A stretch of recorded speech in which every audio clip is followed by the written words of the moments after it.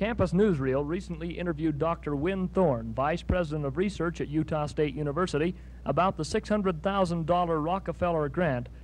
The grant was set up by Rockefeller Foundation to uh, let uh, Utah State University de develop a model type of program that could be an example to other institutions throughout the United States as to how everyone can work together with a concern about the environment.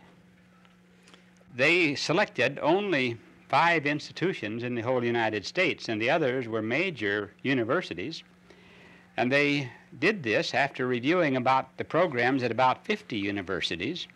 They selected us because, in their opinion, we were somewhat unique and we had the most capable faculty and most interested students. They interviewed both groups while they were here, and they thought that this was the place that they could really develop a program that others would seek to emulate.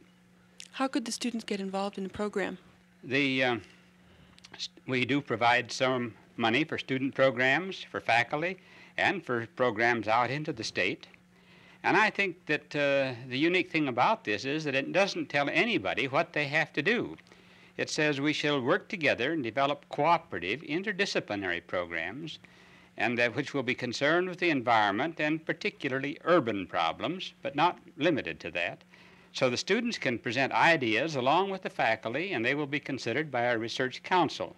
They can be educational, or they can be studies, and we hope there will be some of both. And so I think to have an idea, to want to do something, to be willing to cooperate with other people, that's the secret of how to get at it, and then get your ideas down in writing so somebody can study them.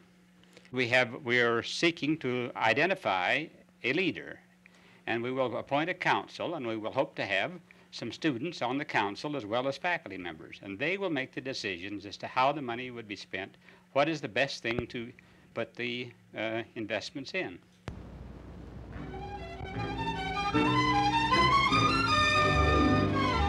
Construction is being completed on the new Vet Science Bacteriology building on campus.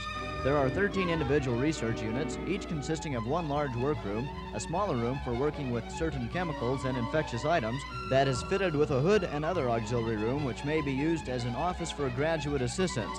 The basement and main floor of the new building will house the research units.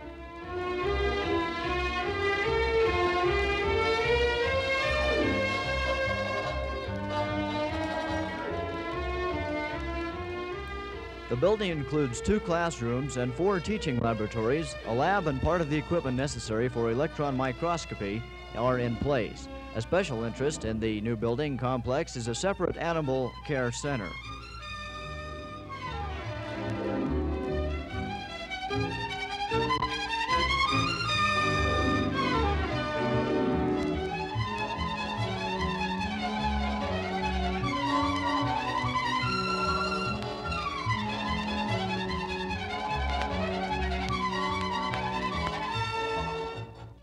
Dr. Porter of the Language Department was recently interviewed by Campus Newsreel about spring quarter in Mexico.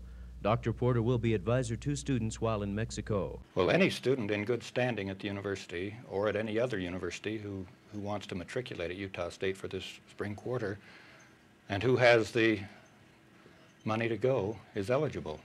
Anyone who has the recommendation or the permission of his uh, advisor, parents if necessary, if they're minors, and uh, wants to go. Glad to have them. Well, the University of the Americas uh, is a, a, member of the uh, uh, Western Association of Universities and has a, a, full curriculum.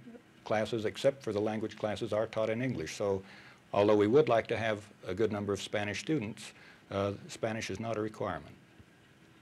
Well, students uh, can come to the Department of Languages and see me or the secretary in the department, Mrs. Erickson, and uh, get all the information on the uh, program.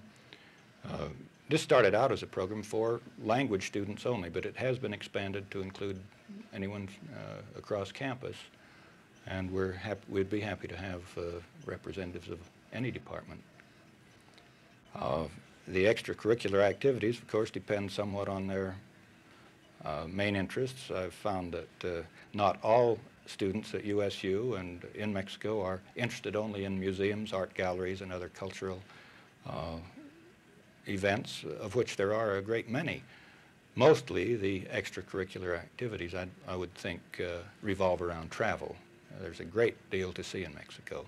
For some, this means uh, going to many of the smaller places, the more exotic uh, villages. Uh, to a great many, of course, it means a, a biweekly trip to Acapulco.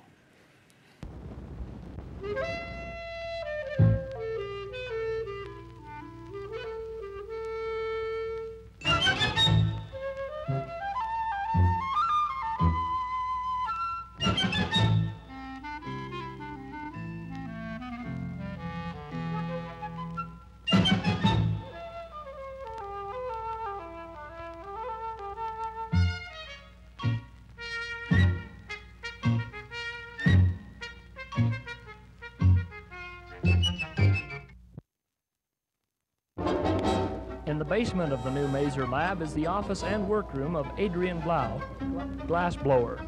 Mr. Blau, with a BS in chemistry, has been working for the chemistry department at Utah State, making the glassware used in the labs and doing the necessary repairs on the glassware. Mr. Blau says that he learned the art by trial and error.